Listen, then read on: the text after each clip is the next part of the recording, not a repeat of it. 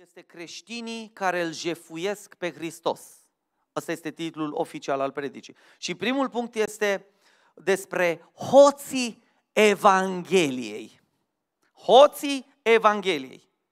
Sunt hoți care jefuiesc Evanghelia. Și uitați-vă un pic la versetele 7 și 8 din Galateni, da? 1, ă, capitolul 1 cu versetele 7 și 8. Și zic așa aceste versete. Nu doar că este o altă Evanghelie, dar sunt unii oameni care vă tulbură și voiesc să, ce să facă? Zice stare. Să răstoarne Evanghelia lui Hristos. Dar chiar dacă noi înșine, și aici se referă la primii apostoli care au dus Evanghelia, și zice, chiar dacă noi înșine, și v-am povestit acum uh, uh, ceva timp în urmă, pare mi se duminica trecută, v-am povestit despre Nicolae, unul dintre diaconi care a devenit mai apoi chiar apostol, a sucit Evanghelia. El este părintele uh, Nicolaiților, care v-am spus, uh, teologia lor era că uh, uh, această carne poate să facă orice, să curvească, să bea, să se drogheze, orice, dar în biserică suntem sfinți, că sufletul nu poate să fie atins de păcatul cărnii, ceea ce este contrar Scripturii.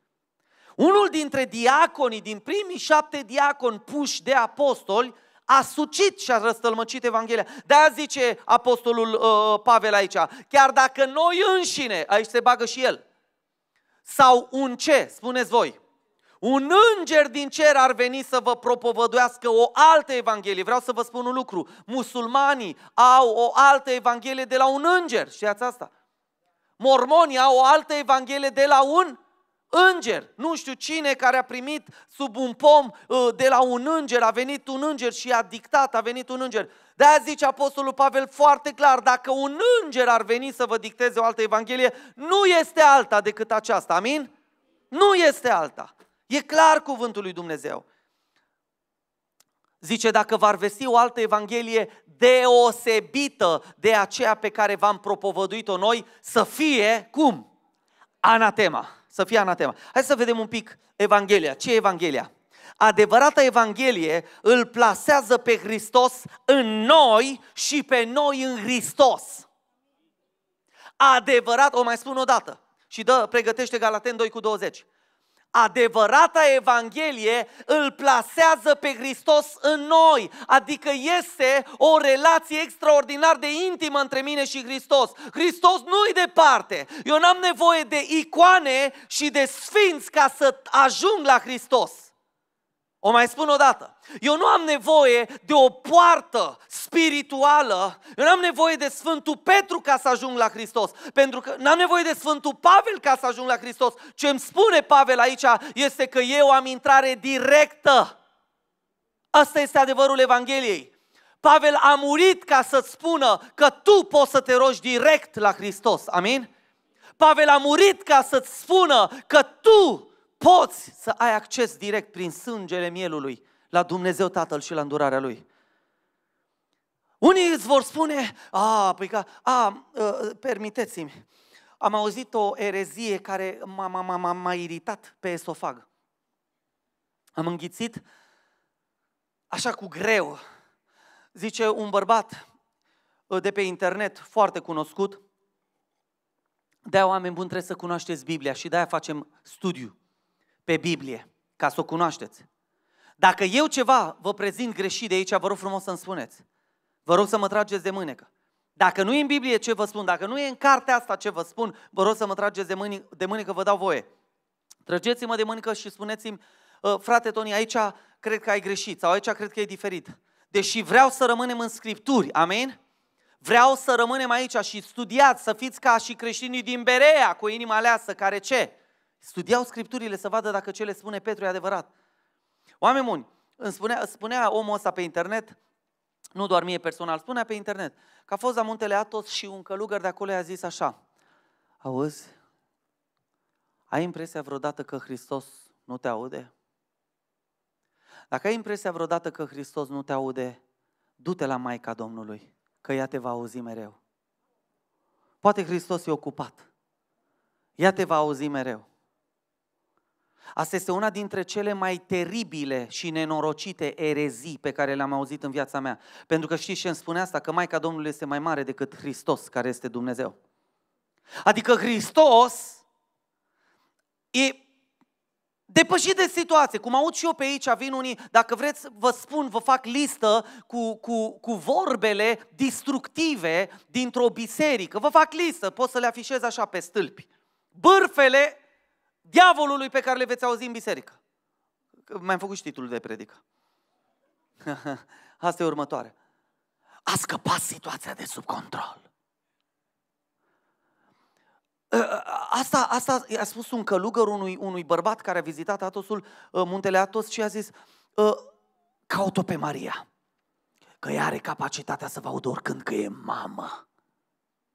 Iisus, știi, mai bate un cui prin cer că vă face case. N-a zis, mă duc să vă pregătesc un loc. Mai bate o scândură la podul casei lui Toni, la mansardă, ca că vrea cu mansardă. Iisus e ocupat, domnule. Încercați la Maria că Iisus e ocupat. Asta este o erezie drăcească. Pentru că Evanghelia îmi spune, am fost răstignit împreună cu, cu cine? Cu Hristos. Și ce? Și trăiesc. Dar nu mai trăiesc. Atât de profund și puternic este Pavel încât zice, nu mai trăiesc eu. Ci, spune cu gura ta, te rog frumos, ci în cine trăiește Hristos? În mine e în mine, e în interiorul meu. Eu nu am nevoie de icoane, de sfinți, de Petru, de Pavel. Eu am nevoie de învățătura lor ca să înțeleg că Hristos locuiește în mine dacă eu am fost răstignit împreună cu El. Amin? Haleluia! Ăsta e adevărul Scripturii. Ăsta este adevărul Scripturii. Asta urăște diavolul foarte mult. A, e și vorba aia, până la Dumnezeu te mănâncă sfinții. Păi dar nu mai vă duceți, mă, să vă mănânce sfinții. Duceți-vă direct la Hristos. Tu când te pui să te rogi, roagă-te direct lui Hristos. El este singurul mijlocitor dintre om și Dumnezeu, amin? Zice Biblia asta sau nu? Ați găsit asta în Biblie? Singurul mijlocitor. Nu Maria, nu Petru, nu Pavel, nu Ioan. Vorbeam cu soția mea, oh, o iubesc enorm de mult pe Maria. O mai iubește cineva pe Maria? Chiar vorbeam cu soția mea, ascultam uh, uh, colindul Mary Did You Know? Îl ascultam, e un colind extraordinar și în limba română, îl cântă și Profides, Maria te-ai gândit.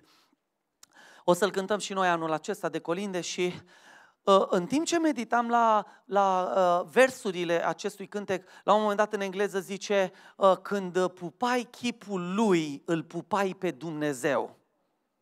Și meditam cu soția mea și spune soția mea, wow, Tony, wow, tu să-i seama că femeia asta l-a purtat pe Hristos, pe Dumnezeu în pântecul ei?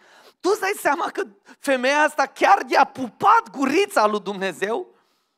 Chiar și, și meditam la chestia asta, câți de aici v-ați pupat copilașii pe gurița așa? Mamă, mamă, dulceață. Mă, când îi vezi așa micuți, când îi vezi drăgălași așa cu părul bălai, când îi vezi sau cu uh, uh, uh, părul ăla negru așa ca mătasea neagră, când îi vezi cu ochii albaștri sau căprui, când îi vezi cu ochii verzi sau ce ochi ori, ori mai aveai? Când îi vezi așa drăgălași cu mâinile alea așa ca uh, mișlin, știi? Umflat așa, zici, wow, ce minunăție! Și te gândești că copilașul ăla de acolo era Dumnezeu. O iubesc pe Maria. I-a pupat gurița lui Dumnezeu, că suni, pupați gurița, Doamne. Uite, cineva chiar a făcut-o pe pământul ăsta. Maria i-a pupat gurița lui Dumnezeu. Dar asta nu a făcut-o Dumnezeu. E o mare diferență. Bă, voi nu o cinstiți pe Maria, unii ne-ar lua de gât așa, m-ar lua de cravată, m-ar spânzura. Bă, tu ce ai cu Maria? N-am nimic, frățioare. O iubesc. E Teotocos, e mama lui Dumnezeu. Da, o iubesc, dar a fost om și doar om. A fost om și doar om. Cine a fost om și Dumnezeu a fost doar Isus Hristos. 100% om și 100% Dumnezeu, da. Dar Maria n-a fost niciunul la sută Dumnezeu și nu este. Și nu este. Uitați, asta, asta, asta e realitatea Scripturii. Prima realitate a Evangheliei, că auziți Evanghelie, Evanghelie, dar nu știți mult ce e Evanghelie. Și puteți să vă notați, Evanghelia adevărată îl plasează pe Hristos în noi și pe noi în Hristos. Galaten 2 cu 20. Da? Adevărata Evanghelie îl descoperă pe Hristos în interiorul nostru. Galateni 1 cu 16. Te rog frumos, Mădălina. Galateni 1 cu 16 spune atât de minunat, da? Să descopere în mine, citiți cu ochii voștri, vă rog frumos, să descopere în mine pe fiul său ca să-l vestesc între neamuri. Îndată n-am întrebat pe niciun om. Fiți atenți. Ce șoc, ce șoc produce Pavel aici. Zice, Dumnezeu l-a descoperit pe Hristos în mine. Îl poți descoperi pe Hristos. Hristos este Dumnezeu. Cunoașterea lui Dumnezeu este, atenție, nelimitată. Noi ca oameni nu putem să cunoaștem în întregime Dumnezeirea. Este nemărginit Dumnezeu. Dar putem înainta în cunoașterea lui Hristos. Știm ce a făcut Hristos, cine a fost Hristos, știm Evanghelia lui Hristos. Dumnezeu ne-a dat capacitatea să pricepem. Dar este o cunoaștere și o înaintare în relație cu Hristos. Și zice, să descopere în mine pe Fiul Său. Evanghelia adevărată îl face pe credincios să-L descopere pe Hristos în el. Ați înțeles? Să ai o relație cu Hristos, să vorbești cu Hristos. Iisuse Hristos, a, tu ești prea păcătos, mă, să vorbești, dar cine te crezi tu, mă? Băia, îmi zice cineva și v-am mai spus asta, m-a făcut unul arogant spiritual. Zice, băi, ești, ești de o aroganță spirituală de n-am întâlnit. Zic, dar de ce? Explică-mi. Păi tu, frate, tu, ca intrare la Dumnezeu, te crezi Sfântul Petru. Oameni buni, și ce zice Sfântul Petru? V-am vestit o Evanghelie la fel ca a noastră. V-am vestit aceeași Evanghelie de aceeași calitate. Nu știu dacă găsesc, hai că sunt nevoit să intru un pic în, în Petru, da? Să să văd dacă găsesc fix versetul ăsta.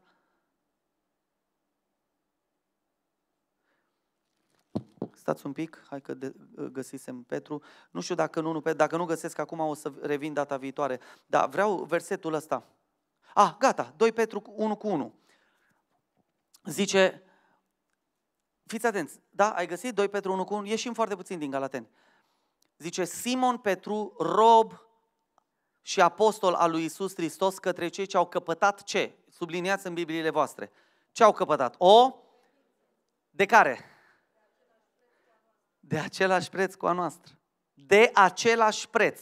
De aceeași valoare. Mulți zic, da frate, dar cinzecimea a fost pentru primii apostoli. Fals. Îmi zice Petru că am căpătat credință de aceeași valoare cu el, da sau nu? E de același preț? Ce înseamnă același preț? Nu diferă nimic. Dacă eu îmi cumpăr un Lamborghini, un porc, hai să coborâm pe pământ. Dacă eu îmi cumpăr un porc de 150 de kg, a, nu, nu, nu, asta cu porcul nu-i bună. Că poate să difere, nu-l nimerești la același gramaj. Dați-mi un exemplu, ceva ce poate să fie fix identic, unul la unul. Mașină, nu? un Logan! da? Unul, nu, motorul de 09 mai e? Ăla de când urci dealul la predeal trebuie să scoți aerul condiționat. Dar dacă mi iau un Logan 09 motor și ție îți dau un Logan 09 motor sau 08 cât o mai fi, e fix, fix același. Ar trebui să fie fix, fix același. Identic. Să nu difere nimic. La fir de ață să nu difere nimic. E același. Apostolul Petru zice aici, voi ați primit la fel ca noi. Adică, Botezul cu Duhul Sfânt la fel ca noi, amin? Darurile Duhului la fel ca noi, amin? Roada Duhului la fel ca noi, amin? Vestirea Evangheliei la fel ca noi, amin? Biserica la fel ca noi, amin? Totul la fel ca noi, amin? Deci ăsta e versetul 2 Petru 1 cu 1, este versetul pe care să-l arătați celor care zic că noi am primit o credință mai slabă decât a apostolilor. Asta e o minciună, o altă minciună. Dacă de prima minciună v-am zis că se găsește într-un anumit mediu, da, într-un anumit mediu, aia cu faptul că uh, roagă-te la Maria că Iisus nu te aude că e ocupat, aia se găsește într-un anumit mediu creștinesc, asta cu faptul că am primit o credință mai slabă decât a primilor apostoli e de pe la noi, de pe aici. Cam din mediul evanghelic. Cam de prin mediul evanghelic, nu de la Profides. Dacă cam prin mediul evanghelic circulă minciuna asta. Când Petru îmi zice clar, ok, deci Hristos se descoperă în mine. Al treilea lucru despre Evanghelia adevărată, îi prezintă pe sfinți ca fiind îmbrăcați în Hristos. Mai profund de atât, zice, uh, uh, uh, dacă, dacă o luăm un pic invers, nu știu de ce am pus Galaten 2 cu 20 înainte de Galaten 1 cu 16, normal era să pun prima oară Galaten 1 cu 16, care zice că Hristos se descoperă în mine. Normal era așa, asta era ordinea. Hristos se descoperă în mine. Poate că am pus Galaten 2 cu 20 că vorbește despre moartea firii, da, moartea noastră în Hristos. Dar, vedeți, Hristos se descoperă în mine, Hristos trăiește în mine și eu în Hristos și trei, eu sunt îmbrăcat în Hristos. Și vă dau exemplu. Galaten 3 cu 27. Eu sunt îmbrăcat în Hristos. Dacă te duci la un creștin de pe stradă și îi zici, eu sunt îmbrăcat în Hristos, crede că ai nebunit. Ce du-te vă de aici că noi, dacă ajungem la Hristos rugându-ne la 17 sfinți și făcând o mie de mătănii, dacă cumva reușim prin Fecioara Maria, după ce mai insistăm la Fecioara Maria de câteva sute de ori, și dacă vedem că nu merge cu Maria, mai băgăm un Petru, un Pavel, mai băgăm un Sfântul Nicolae. Uh, o să am o predică, religiozitate moartă și vă spun un pic din ea poți să fii extraordinar de religios și să ajungi în cea mai adâncă groapă din iad. E posibil. E foarte posibil. De curând am aflat, și nu o să vă dau nume, de unul care apare foarte des în mediul public, extrem de religios și pupând enorm de multe icoane și cineva îmi spune din anturajul lui, îmi spune, bă, ăsta are amante cum n-ai tu pantofi. Și am rămas foarte dezamăgit și dezgustat, pentru că la televizor îl văd ca pe un om extraordinar de religios și pupă într-una icoane și non-stop cu icoane. Și zic, sigur? Zic, păi bă, m-am întâlnit cu el pe stradă. L-am întâlnit pe stradă și are amantă la mine în cartier. Știu la cine se duce. Zic, a mă, lasă, mă dă un colo de treabă. Nu cred așa. Zic, Tony, crede-mă că eu umblu printre ei. Sunt din mediul lor. În sensul că am fost în anturajul lor acolo. Zic, păi și cum, mă, fratele meu, pupi într-una icoane, dar tu ai amante pe toate străzile din capitală? Se poate așa ceva? Realitatea ne demonstrează că se poate. Cu o mână pupăm icoanele, de, le luăm una după alta, cartonașe, cum au americanii la jucătorii de baseball. Vedeți? Au ajuns icoanele uh, cartonașe să ce? Amulete norocoase. Oameni buni, Sfântul Petru, Sfântul Pavel nu ne îndeamnă altceva decât să ne pocăim și să ne sfințim. Nu se pupă icoanele cu curvia. Buzele care pupă amante sau amanți, deci după aia care pupă icoane, sunt o scârbă înaintea lui Dumnezeu. E adevărat da sau nu? Sunt o scârbă înaintea lui Dumnezeu.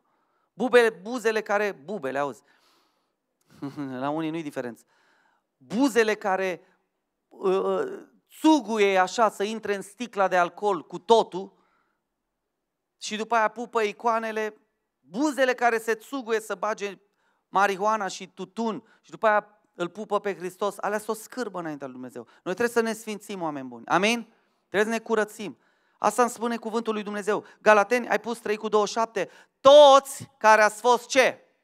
Botezați pentru Hristos, v-ați îmbrăcat cu Hristos. Vedeți care a fost botezați pentru Hristos. Tu trebuie să alegi, să știi pentru cine. S-a simplificat mult creștinismul. În momentul în care i-am băgat pe toți așa în rai, în momentul în care i-am băgat pe toți în, în, în împărăția lui Dumnezeu, indiferent de ce fac, atunci, în 313, în, când uh, Constantin, împăratul Constantin, care a făcut, părerea mea, un mare de serviciu un mare de serviciu creștinismului.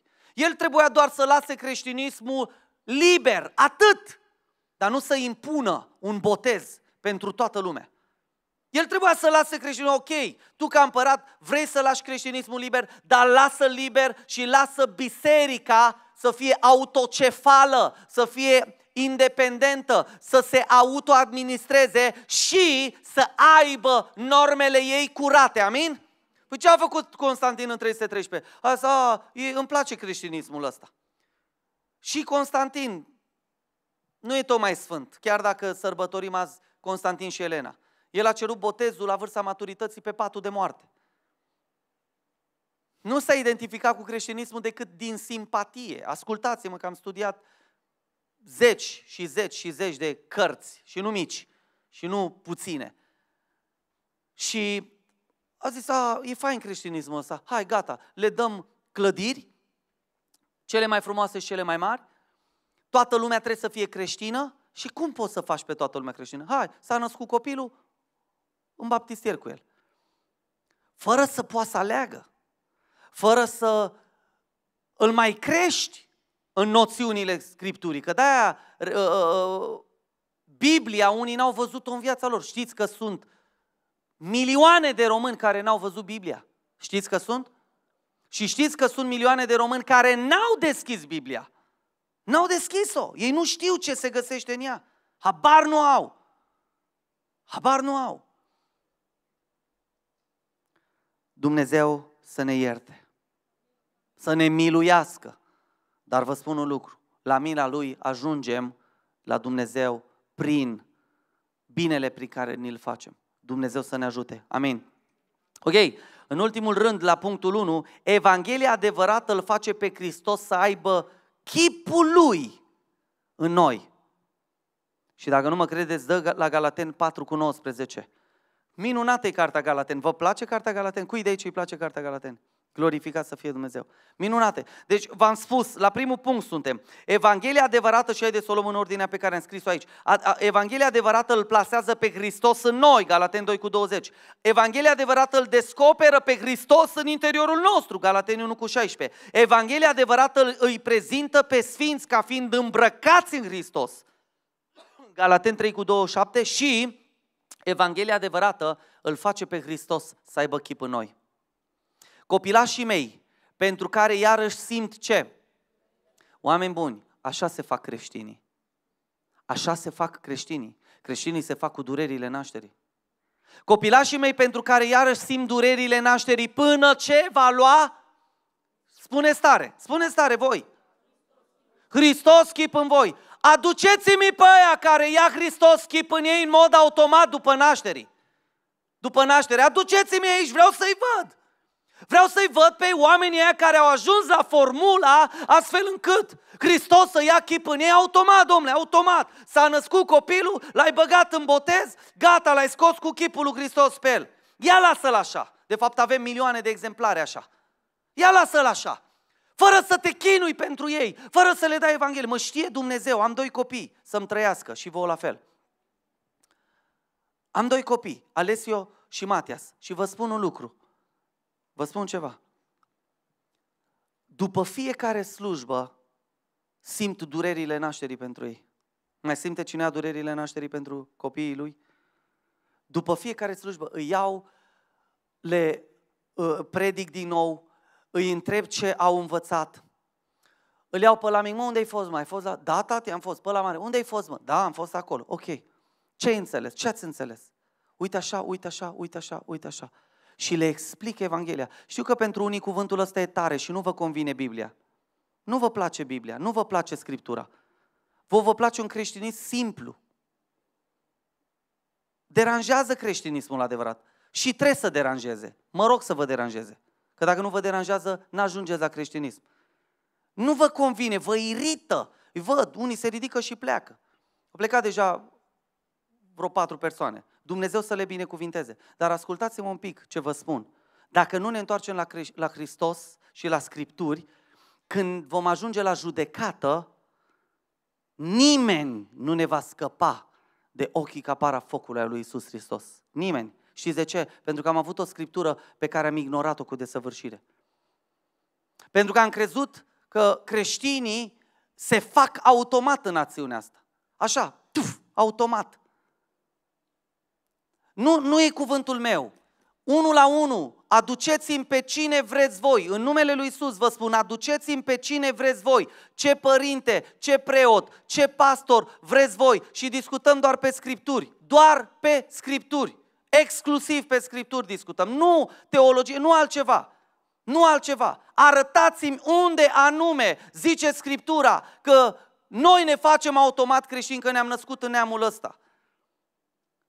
Zice, copilașii mei, și atenție, scrisoarea asta nu e scrisă pentru școala duminicală. Scrisoarea asta este scrisă pentru niște adulți din Galatia. Mă auziți? Niște adulți. Și le zice, copilașii mei pentru care simt durerile nașterii. Până când Hristos va lua chip în voi. Nu e ușor, oameni buni, să ia Hristos chip în noi. Nu e ușor, e adevărat asta sau nu? Nu e ușor. Cât ți-a luat să renunți la scripturi, la, pardon, la țigări, că la scripturi, uh-huh, e ușor să renunți. Cât ți-a luat să renunți la țigări? 30 de zile, 40 de zile, un an, 2 ani? Cât ți-a luat să renunți la alcool? Cât ți-a luat să renunți la curvie? O, ce drac obraznic e curvia! O, cât de mulți obsedați sunt! Azi dimineață citeam că am deschis uh, telefonul ca să uh, uh, dau uh, live, am intrat pe Facebook și doar am citit un, un titlu, doar am citit așa, am, am intrat să dau pe Facebook, să dau uh, uh, uh, share la live și prima știre care mi-a apărut înainte să caut Biserica Profides și să dau share, mi-a apărut o știre și doar am citit titlul. Șofer de Bolt pedofil care a descris scene incredibile, mizerabile unei fetițe de 14 ani care a fost luată cu bolt. Și o mamă uh, s-a văitat de lucrul acesta. Doar mi-am aruncat ochii și am văzut. Și dacă intri în boltul ăluia, are numai, cred că numai cruciulițe la oglindă. Și lângă poza lui de uh, taximetrist sau ce-o fi, boltist, are o icoană. Oameni buni, ori trăim creștinismul, ori suntem sinceri cu noi înșine și nu ne mai mințim. Pentru că creștinismul nu se trăiește oricum. Creștinismul, în primul rând, vine cu Galaten 2 cu 20, care zice, a murit. Tony Berbece a murit. Față de cine? Față de curvie? Față de pornografie? față de femeia altuia, față de bărbatul altuia, față de uh, uh, uh, toate poftele destrăbălate, față de beție, față de tutun, față de marihuana, față de droguri, față de lăcomie, față de mânie, față de răutate, față de invidie, față de tot ce e păcat. Amin? Amin. Nu e ușor. de nu cred într-un creștinism național. Nu cred, e o altă minciună. Creștinism național. O, oh, ce bine era! Oameni buni. Oameni buni, hai să fim sinceri, să nu ne mai mințim. Dăm la cuvântul Domnului și ați citit, da? Galateni 4 cu 19. Ați avut înaintea ochilor voștri, copilașii mei, pentru care iară simt durerile nașterii. Oameni buni, cum, cum? Eu, eu sunt sincer cu voi. Eu sunt sincer cu voi. Și Dumnezeu să vă binecuvinteze că stați și vă văd că sunteți atenți. Eu sunt sincer cu voi. Cum un părinte care nu are nicio treabă cu creștinismul poate să nască, cum zice Apostolul Pavel, poate să nască copii creștini? Nu știu dacă îmi explici, imaginează-ți că eu sunt uh, din Papua Noua Guinee. Imaginează-ți că sunt nepalez. Am venit ieri să lucrez la șaormerie, să tai șaorma. Am venit ieri să, să fac curat la tine în casă. Și tu ești creștin. Eu sunt nepalez, știți, nepalezii nu sunt creștini. În Nepal, credința creștină este interzisă. E interzisă. Vine nepalezi, eu m-am gândit la ei, mă, pe ăștia cum îi încreștinăm? Știți că eu m-am gândit la asta? Când m-am dus la șaurmeria Băneasa de la Brașov, proprietarii uh, sunt creștini, sunt credincioși, când m-am dus acolo, înainte de slujbă, să mănânc o șaorma, mă duc acolo și un nepalez, namaste, namaste, era namaste, namaste. Era foarte deschis cu mine, namaste, namaste. Am învățat și eu să-l salut. Nu știu ce înseamnă namaste. Bună ziua, ce înseamnă? Da. Uh, l-am salutat și eu, nu știu, bonjour, ce să zic, înapoi. Uh, și zice, el, ei învață foarte repede limba română. Nu știu dacă ați observat asta. Deci vin și în două, trei săptămâni știu banii, știu Rossi, castraves, cum zic ei acolo. Țapă? Țapă? Eu ce țapă mă vrea să-mi dea asta? Țapă? Nu înțelegeam. Țapă. Strigă tipa de la caserie. Ceapă, mă, ce... A, fără țapă. Nu vreau țapă. Da, ținți lei, ținți lei. Ținți lei ai? Era un ținți lei? Eu, ce vreau, mă? Ținți lei, ținți lei. A scos din caserie ținți lei, să-mi arate ținți lei. A scos, de fapt, din cutia aia de tips, ținți lei. Eu am învățat limba română. Și ne întreabă, mă, dar cu Hristos al vostru cum e? Cum e? Te vede pe tine că sudezi țigară după țigară, la team building ești mai mor de bea decât nepalezii, te văd că vine amanta pe la muncă, că ai femei, le trimiți pe WhatsApp lor, nepalezilor, femei spurcate, stricate, le trimiți filme, filmulețe de alea uh, uh nenorocite. Cum un astfel de creștin poate să nască creștini, oameni buni? E întrebarea mea. Se poate? Vă întreb. Se poate? Nu se poate, oameni buni. Dintr-o casă de păgân nu poate să iasă creștini. Nu se poate. Într-o casă unde domnește curvia, beția, mânia, răutatea, certurile, nu se pot naște creștini decât dacă copilul ăla are șansa duhovnicească să întâlnească un creștin adevărat. O biserică adevărată. Și știți ce se întâmplă în momentul în care un copil dintr-o casă de nelegiuiți și majoritatea veniți din case de nelegiuiți, câți de aici veniți din case de nelegiuiți? Mâna sus.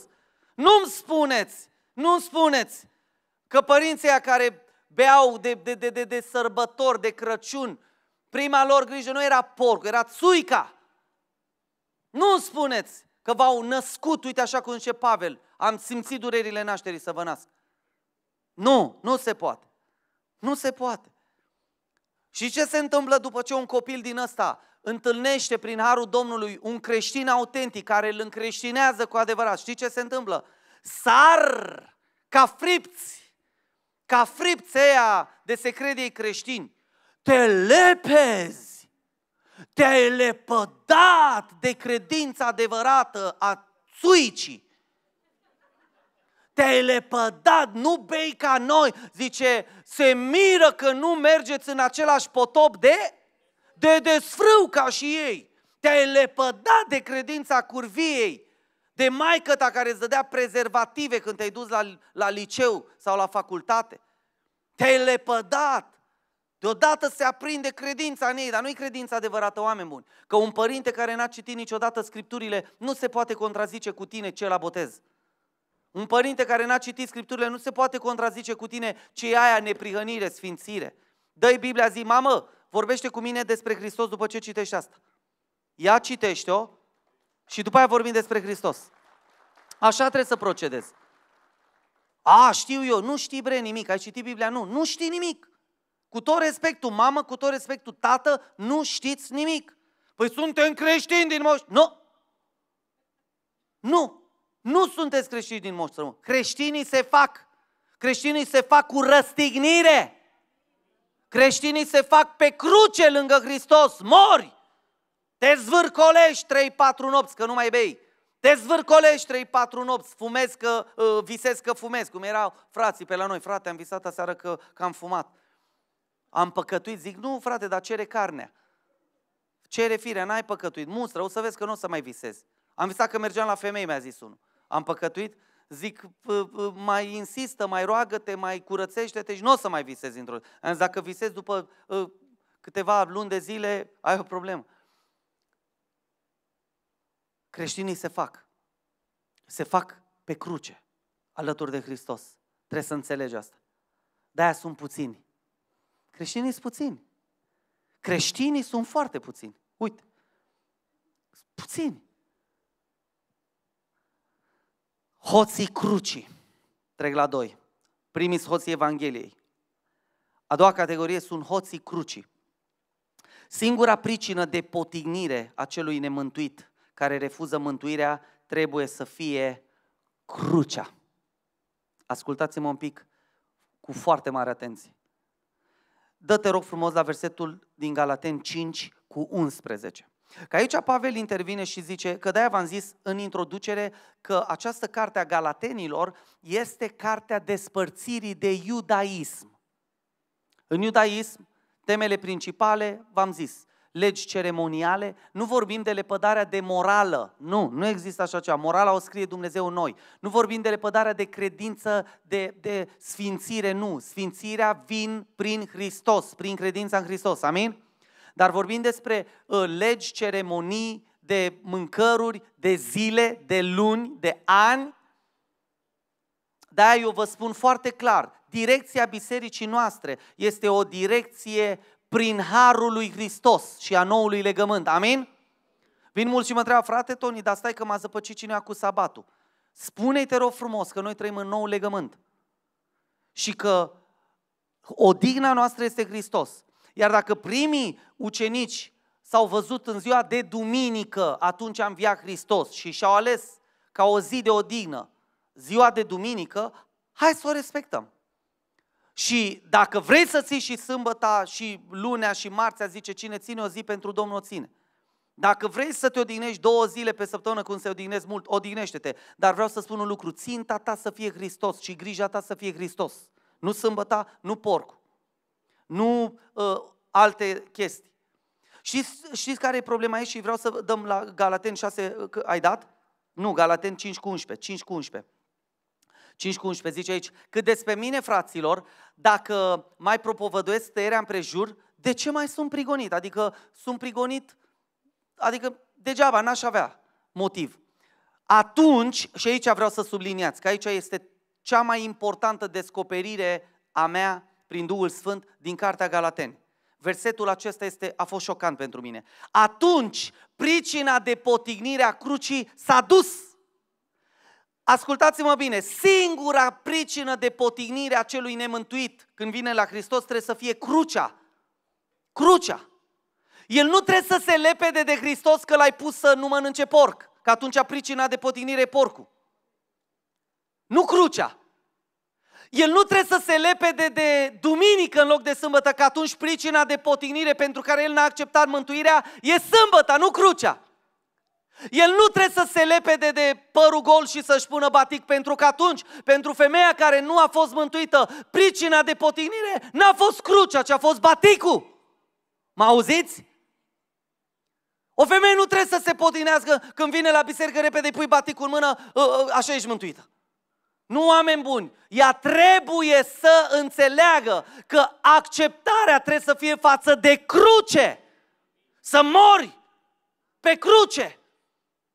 Mulți fug din biserici pentru că li se pun înainte nu mânca porc, ține sâmbăta, ia baticul, uh, uh, cântă ca noi, uh, nu purta geacă de fâș, nu purta cravată, dă jos verigheta, vezi că ceasul tău cam sclipește, vezi că ai barbă. Mi-a zis cineva, frate Toni, nu suportam să te ascult, dar de când te-ai bărberit, te ascult cu drag. Pricina de potignire la persoana era barba, nu crucea. Lasă-mă barba, lasă-mă obiceiurile și tradițiile. Pentru că Pavel îmi zice, noi trebuie să fim uh, uh, uh, prigoniți nu pentru batic, nu pentru porc, nu pentru sabat, nu pentru cravată, nu pentru verighetă, nu pentru tobe și pentru stilul muzical. Noi trebuie să fim prigoniți pentru cruce. Mă înțelegeți? Asta este Evanghelia pentru oameni buni. Pavel n-a murit pentru batic. Pe Pavel nu l-au răstignit că s-a dus în Roma și a zis toate femeile, hai, baticul. Unde-i baticul? Pavel a murit că s-a dus în Roma și a zis, trebuie să muriți față de firea pământească, trebuie să muriți față de curvii, trebuie să muriți față de beții, trebuie să muriți față de mânii, trebuie să muriți față de uh, uh, hoții și față de Dumnezeii vechi care v-au pus să vă uh, necinstiți trupurile, trebuie să muriți față de patim sexuale. Și de-aia l-au răstignit. Ați auzit? De-aia l-au răstignit pe Pavel. De-aia l-au răstignit pe Petru. Pentru că pricina de potignire a oamenilor a fost crucea. Noi nu mai predicăm crucea oameni buni. Îmi zice un, un, un frate, măi, a venit un președinte de cult la o întâlnire a, a cultului nostru și este al treilea an consecutiv în care predică despre batic. Nu-i posibil așa ceva. Ăia, ăia lui nu mai suportau asta. Ei nu mai au cruce, mă. Simbolul creștinismului la ei e baticul. La unii un porc tăiat. La unii un S de la sabat tăiat. La unii cravata tăiată. La unii o verighetă tăiată. Oameni buni, Evanghelia stă în cruce și crucea stă în Evanghelie. Amin? Când te duci la om, ce îi spui oameni buni? Ce îi spui? Noi învățăm în biserică pe oameni, să, ă, femeilor să le spună, o vezi pe una în tramvai și zici, n-ai semnul stăpânirii. Îi necinstești pe îngeri. Dragă Doamnă, dacă nu spui ceva în cap acum, focul iadului te mănânc. Și ce ce ai? Bă, a nebunit lumea. A nebunit lumea. Nu se m-am întâlnit cu... Mănânci porc? Ce ziți? A, ai aur pe tine, ai verighet. A, vezi că crucea e săgeată spre iad. Ă, asta, cravata, e săgeată spre iad. Oameni buni, ce Evanghelie predicați voi? Ce Evanghelie predicați voi? Predicați Evanghelia lui Hristos sau Evanghelia voastră care vă place vouă? Evanghelia lui Hristos este crucea. Amin? Ea e puterea. Pe cruce moare omul. Și de ce nu mor oamenii prin biserici? Mă refer la firea lor pământească. Pentru că noi nu i-am suit pe cruce, i-am suit pe alte chestii. I-am suit pe doctrinele noastre, i-am suit pe învățăturile noastre, i-am suit pe lucruri care nu-i pot mântui și nu-i pot ajuta să renunțe la păcat. Nu-i pot ajuta să renunțe la păcat. Du-te la om în tramvai și spune-i, am un mesaj pentru tine. Iisus Hristos te iubește atât de mult încât a murit pe o cruce pentru tine. Acolo a fost chinuit, acolo a fost bătut, a fost scuipat, a fost schingiuit. Și acolo pe crucea aia Hristos a răstignit și păcatul tău. Păcatul curviei, păcatul alcoolului. Și dacă accepti această iertare, vei fi mântuit. Știți ce? S-ar putea ca femeia sau bărbatul respectiv să se uite la tine și să dea impresia că nu te înțelege și că te respinge, dar se va duce acasă și crucea îl va urmări. Mă auziți? Crucea îl va urmări. Ascultați-mă un pic ce vă spun și vă spun cu toată puterea Duhului Sfânt. N-am văzut om, niciun om cercetat până la lacrimi că i s-a pus un batic în cap.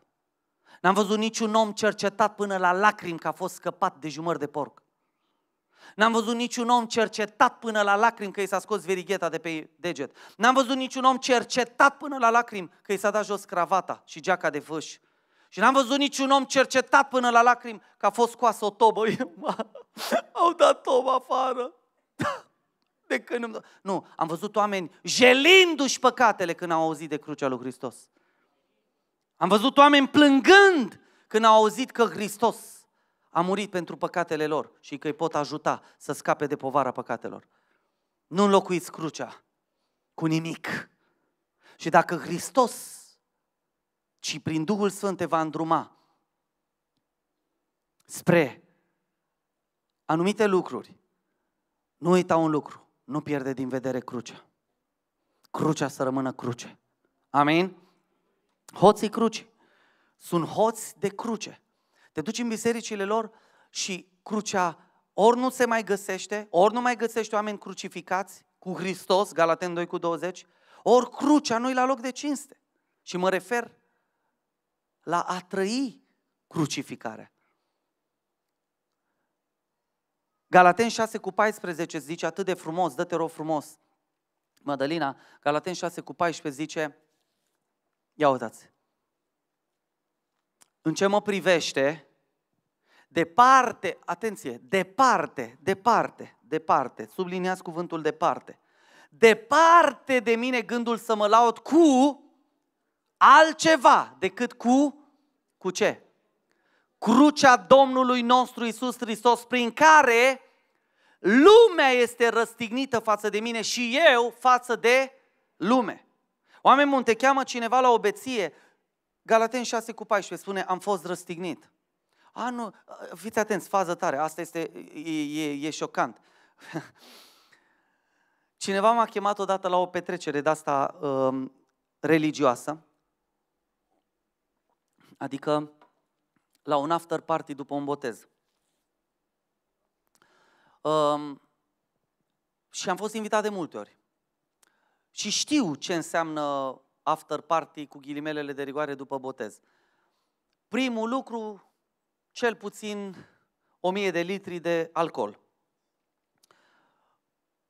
Uh, trupă, taraf, manele, arvunit bine. 7000 de euro, zice cineva, mamă, îi fac botezul ăsta mic și m-a de bani. Zic, păi de ce? Păi fratele meu, nu mai trupă. Și a zis o trupă de asta, trei țambale și o vioară, uh, uragane, tornade, vijelii, nume de-astea grele, de furtuni. Zice, mamă, numai trupa m-a costat 7000 de euro, am făcut credit ca să plătesc în avans trupa, că altfel toți banii am datat. Mă uit, las să continuu. Uh, băuturile costă mai mult decât meniurile, decât mâncarea. Băi, de ce am luat? Și mi-a zis, aia, aia, aia, aia, aia, aia, aia și toate alea. Deci după biserică să vezi ce petrecere încingem. Băi, frumos, îți dai seama ce cântă. Am tras draperiile, am făcut întuneric în cameră, începe curvia, țui ca să curgă, ă, avea tata o cântare înainte să-l botez. Cum era? Beau vinul cu borcanul. Cum era tată? O mai ții minte? Ai uitat-o că te-a răstignit Hristos. Avea tata una, cânta Nicușor la noi în casă, în fiecare duminică era, para, era mare petrecere. Era chiar after party după slujbă, că noi veneam de la biserică și tata ne aștepta cu televizorul, cu uh, Irina Login, Dolănescu și Nicușor Paleru. Și era acolo, da, seama, after party. Era mama, Ioane, Ioane, Ioane, Ioane. Slavă Domnului că acum dă pe Alfa Omega, tata. și pe Speranța. Da, pe Credo TV. Nu mai s-a lepădat.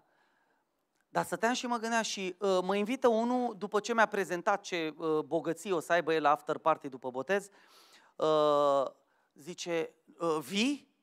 Vii? Zic, nu. Și ia uite ce mă întreabă. Ești de altă religie? Zic, păi stai mă un pic, adică, vedeți, oamenii sunt, nici nu-și dau seama cât de, cât de mult adevăr e în gura lor. Pentru că el a asociat toată petrecerea cu uh, sute de sticle de alcool, cu uh, furtunele și uraganele care cântă curvi și destrăbălări, cu religia. Și bine a făcut, că e o religie.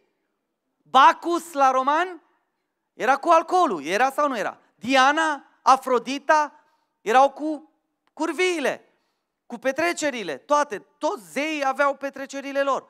Ce tu ești de altă religie? Și am zis, da, sunt de altă religie, sunt creștin. Păi și eu tot creștin, frate. Zic, nu, îmi pare rău. Îmi pare rău, trebuie să te contrazic. Bă, s-a enervat. Bă, dați-vă încolo, bă, voi, cu, sunteți de 100 de ani și ne spuneți nouă de 2000 de ani. Zic, da, bine zici, de 2000 de ani vă îmbătați. De 2000 de ani vă destrăbălați. Te bă, da ești cu cred. Ce ești, mă, tu zi, ce ești? Pentecostal ăla, cum ești? Zic, nu mă, sunt creștin. A, bă, te încolo de sectant de aici. L-am enervat. Ești sectant dacă nu bei și dacă nu tragi draperiile. Da? Ești sectant de acum. Ai altă religie. Da, frate, am altă religie. Sunt creștin. Mie Hristos mi-a zis să mor. Galaten 6 cu 14, față de beție, față de curvie, față de uh, uh, uh, gândurele, față de perversități, față de ce gânduri mai avea tu în mintea ta, bolnavă fără Hristos? Eu am murit pe cruce, amin? Asta e lauda mea. Departe de mine gândul să mă laud cu altceva. Departe de mine gândul să mă laud cu baticul. Departe de mine gândul să mă laud cu cravata că am dat-o jos și că m-am ras pe barbă. Nu, eu nu mă laud cu barba și cu cravata și cu baticul și cu sâmbăta și cu porcul. Eu mă laud cu crucea lui Hristos. Și dacă cineva îl respinge pe Hristos, să-l respingă conștient că n-a acceptat crucea. Traducem defectuos, de fapt transmitem defectuos Scriptura. Predicăm defectuos Evanghelia. Când Pavel în Galaten mi-a spus, nu există altă Evanghelie. Dacă vine altul la voi să vă predice o altă Evanghelie, în afară de cea prin care muriți față de firea cea veche prin, prin cruce, nu o primiți. Ne-am transformat bisericile în date, în tradiții și obiceiuri. Și ne batem între noi pe ele. Vedeți că noi, asta spuneam, noi nu ne certăm pe cruce oameni buni. Eu cu ortodoxii, cu penticostalii, cu baptiștii, eu cu creștini după Evanghelie, eu cu alte denominații. Noi nu ne certăm niciodată pe cruce, că cu crucea suntem toți de acord. Dar noi ne batem pe alte chestii care nu sunt Evanghelie, care nu sunt vestea bună. Că dacă ne-am uitat toți la cruce, ar trebui să fim toți de acord și să mergem în aceeași direcție. Amin? Să ne uităm la cruce. Și Repet, așa cum a spus Apostolul Pavel, că ăsta, ăsta, ăsta este versetul de aur. Mulți ați ales Galaten 2 cu 20, alții l-ați ales pe Galaten 6 cu 14, îmi plac amândouă. Alții ați ales Galaten 3 cu 27, am fost îmbrăcat în Hristos. Alții ați ales Galaten 1 cu 7, nu este o altă evanghelie, sau Galaten 1 cu 8, dar dacă alții vin să vă predice o altă evanghelie, sunt anatema. Sunt atât de multe versete de aur din Galaten și o să mai dau câteva. Roada Duhului Sfânt este tot în Galaten, 5 cu 20 roada Duhului Sfânt. E tot în Galaten, e o carte de aur. E o mare moștenire a bisericii și dacă am citit-o, am găsit Evanghelia. Dar vreau să vă spun, după părerea mea, revelația și versetul de aur este acesta, pe care vi l-am spus, da? Lasă-l, uh, nu 6 cu 14, 5 cu 11. Ăsta este punctul cheie al Evangheliei, versetul de aur. Zice, atunci pricina mea de potignire a crucii s-a dus. Pentru că esența e aici. Oamenii care îl resping pe Hristos trebuie să știe de ce l-au respins. Trebuie să știe de ce l-au respins. Și trebuie să le spui, tu îl respingi pe Hristos pentru că îți iubești păcatele și n-ai vrut să mori pe cruce. Și oamenii să înțeleagă că după discuția pe care au avut-o cu tine, ca o altă religie, da, și că nu-i creștinismul și că nu-i Hristos acolo. Pricina de potignire, că de-aia ales crucea. Cine ar fi crezut că o cruce poate să fie simbolul creștinismului? O cruce pe care mureau tâlharii. Că de-aia crucea era cea mai, cea mai puternică armă de tortură. Împrumutată de, de romani de la perși, am înțeles. Da? Se murea în chinuri extraordinar de groaznice ar fi preferat uh, execuția romană. Exe- uh, romanii aveau o execuție, punea omul în genunchi, punea capul un pic în față și implanta sabia aceea romană aici, între uh, uh, prima și a doua vertebră. Îi găsea locașul așa, da, cu vârful sabiei, punea bine acolo între prima și a doua vertebră și buf, în jos apăsa cu sabia romană, care era destul de scurtă și foarte lată. Și printr-o simplă secționare îl decapita pe om fără să-i cadă capul. Asta era execuția romană. Însă Hristos alege execuția romană împrumutată de la perși, care este crucea, pentru că acolo, ă, pe cruce, erau executați cei mai nenorociți oameni. Cei mai nenorociți oameni. Cei mai nenorociți oameni nu erau uh, executați așa, uh, uh, execuția romană, cum v-am spus eu, ci cei mai ticăloși și răi oameni erau puși pe cruce. Și Hristos alege ca și când ar fi fost unul dintre cei mai păcătoși oameni, dar de fapt Hristos alege crucea pentru că acolo, cum ne spune și cartea Coloseni, tot păcatul omenirii zace în răstignirea lui Isus Hristos. Și dacă tu accepti această răstignire ca preț pentru păcatele tale, capeți viață veșnică. Altfel, mori în păcatele tale, cum a zis Isus Hristos în Ioan 8. Mori în păcatele tale. Trebuie să alegi. Eu l-am ales pe Hristos. L-a mai ales cineva pe Hristos? Glorificat să fie Dumnezeu. Închei. Hoții rodi, rodirii sau rodului. Cu asta închei. Roadele firii pământești și roadele Duhului Sfânt. Oameni buni, vreau să vă spun un lucru. Nimeni nu poate să rodească neprihănire prin el însuși, ci doar prin Duhul lui Dumnezeu. Atât de puternic zice Cartea Galateni că voi ați primit din nou învățăturile începătoare ale lumii. Da? Voi v-ați lepădat de Hristos dacă vă întoarceți la învățăturile începătoare ale lumii. Voi trebuie să rodiți roada Duhului care este în Galaten 5 cu 22. Cu două, de la 20 începeau, uh, um, uh, de la 19 începeau uh, roadele firii. Dar Galaten 5 cu 22 spune așa, roada Duhului din potrivă este, spuneți, Dragostea. Afișează Mădălina, 5 cu 22, să vadă toată biserica. Roada Duhului este ce? Spune, dragostea, bucuria, pacea, îndelunga răbdare, bunătatea, facerea de bine, credincioșia, blândețea, înfrânarea poftelor. Împotriva acestor lucruri nu este lege. Nu este lege. Dacă ai dragoste, ai și blândețe. Dacă ai dragoste, ai și bucurie. Dacă ai dragoste, ai și pace. Dacă ai dragoste, ai și îndelungă răbdare. Dacă ai dragoste, ai și bunătate. Dacă ai dragoste, ai facere de bine. Și dacă ai dragoste, ai credincioșie. Dacă ai dragoste, ai blândețe și înfrânarea poftelor.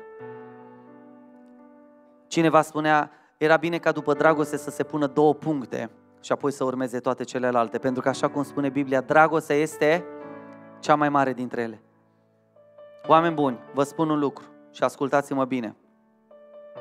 Dacă vedeți unul care este darnic, dar în același timp n-are pace și e mânios, el rodește ceva din capacitatea firii. Dacă vedeți unul care are pace, mă, el e mereu, știi cum zic ăștia acum că au luat-o cu, nu suport expresiile astea împrumutate de la păgâni, el e zen.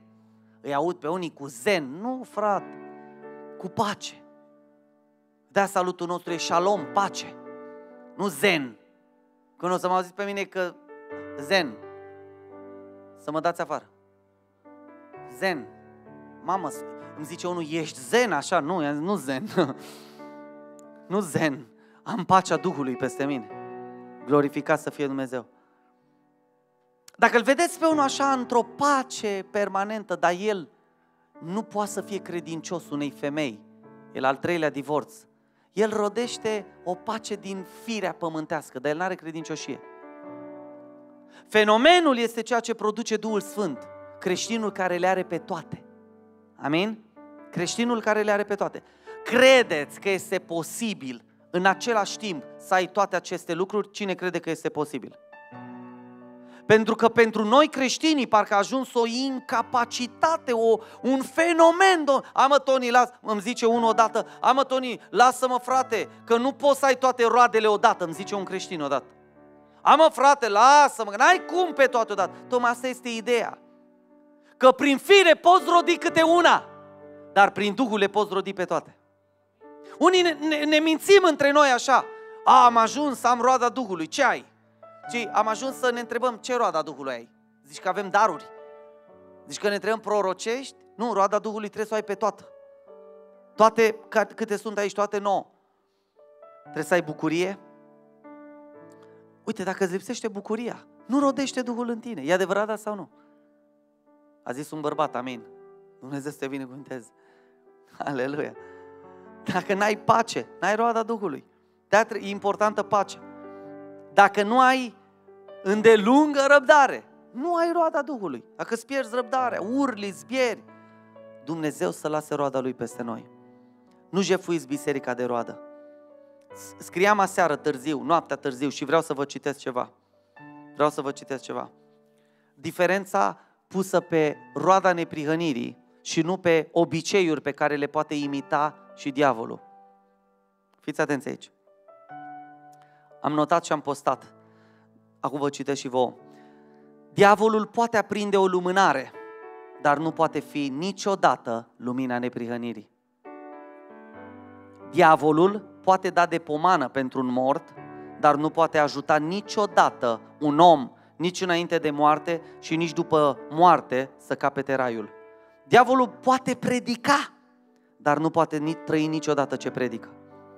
Diavolul poate citi scripturile, dar nu poate să strângă cuvântul lui Dumnezeu în inimă ca să nu păcătuiască împotriva Domnului. Diavolul poate cânta cântările creștinilor cu mult patos și cu mult talent, dar nu îl poate lăuda niciodată sincer pe Hristos. Diavolul poate să poarte cruciulițe, dar niciodată nu poate să-și răsignească natura păcătoasă pe crucea lui Hristos. Uneori am impresia că anumiți oameni au căpătat natura celui care nu se mai poate căi niciodată, natura diavolului. Tu ești cu diavolul sau cu Hristos? Cu cine ești? Cu Hristos. Cu Hristos. Haideți să ne ridicăm în picioare. Să ne rugăm și să-i spunem un sincer, Hristoase, vreau să fiu cu tine până mor. Pentru că, de fapt, eu am murit deja. Știți, îmi vine o revelație, permiteți-mi o revelație acum. Zice, am fost răstignit împreună cu Hristos, adică am murit. Și acum eu deja trăiesc viața cu Hristos. Deci pentru mine nu va mai exista o a doua moarte, că eu am fost răstignit deja odată pe cruce. De-aia Apostolul Pavel în 2 Corinteni 5 zice, moartea este o trecere. O trecere. Am fost înghițit de viață, zice Apostolul Pavel. Moartea mea s-a produs pe cruce cu Hristos. De aceea, dacă nu va veni răpirea în timpul vieții mele, deși cred, eu vreau să cred și vreau să chem lucrul acesta să se întâmple, îmi doresc și tânjesc să grăbesc venirea Domnului, moartea pentru mine nu va fi moarte. Că eu am murit odată cu Hristos pe cruce și acum trăiesc. Și tu trăiești. De-aia nu trebuie să-ți fie groază de moarte, că tu trăiești deja. Când închizi ochii, chiar dacă, știți, am predicat de așteptarea în locuința morților, de adormire, nu vei simți adormirea, că omul nu simte că trece timpul când doarme, ci se trezește dimineața ca și când ar fi trecut o clipă. Te vei trezi ca și când ar fi trecut o clipă și vei fi chiar înaintea lui Hristos, pentru că l-ai iubit și îl iubești nespus.